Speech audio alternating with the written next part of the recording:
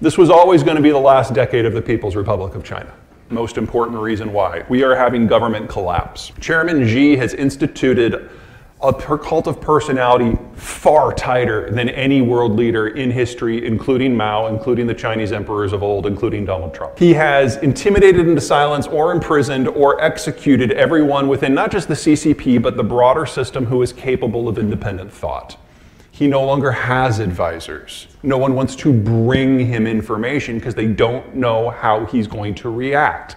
He has literally shot the messenger so many times that he is making decisions in the dark. Now, this has horrible implications for any economic system, but in a one man show, it means nothing gets done unless the leader gives you a written order or you're one of the zealots who sees him on TV and is like, oh, this must be what he meant. Chinese history is replete with examples of how it can all go to hell in a very short period of time. So I am not making a prediction on specifically how it will go down. There, there are just too many paths forward. Sometimes it is overnight. Sometimes it's over a year. Sometimes it's over a generation. Demographics gives us a hard stop of 10 years. So it's between hmm. now and then on some sort of time frame. Uh, as for That's very the, soon. Yeah, it's very, very soon. Uh, geopolitically speaking, this is practically a blink in an eye.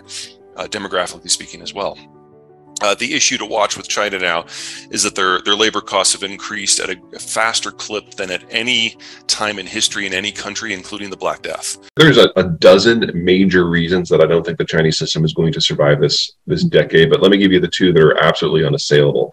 Uh, first of all, China is the third most internationally integrated country in the world after the Germans and the Koreans. They are utterly dependent upon globalized access to raw materials and markets the world over.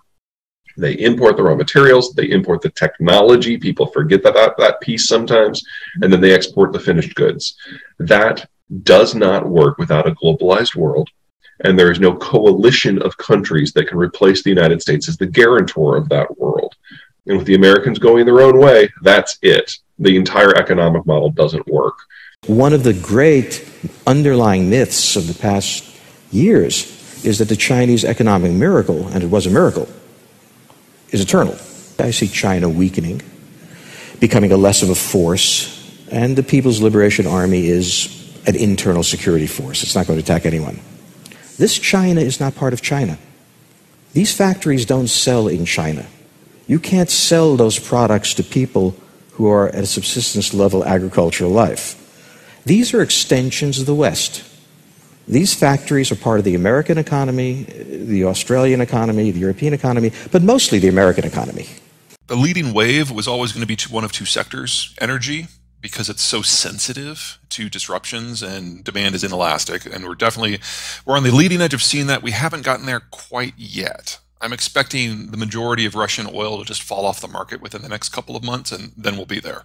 And then the other one is manufacturing because supply chains are so complicated and complex. Uh, and we're, we started seeing that three years ago, actually, with COVID and with the rising trade tensions with the Chinese. Uh, we now have the Chinese actively panicking about supply chains because they can't not do COVID lockdowns because their vaccine doesn't work.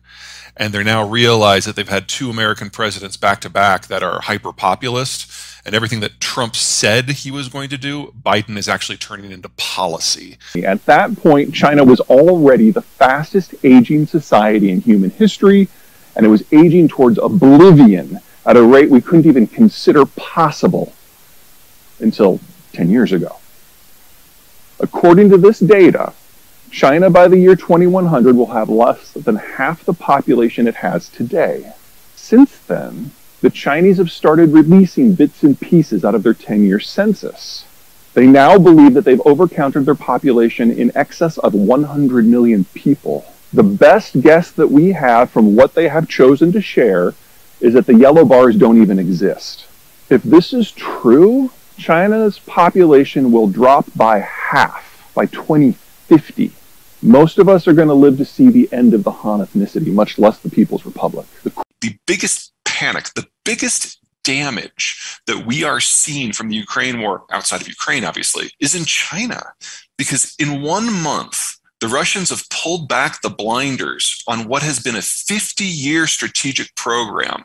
The idea that China can become the global power with American sponsorship, with American indifference, that it can take Taiwan, that it can intimidate Japan, that it can dominate all of East Asia, and yet not suffer economically at all. It was always ridiculous, but now it's been shown to just be absolutely stupid.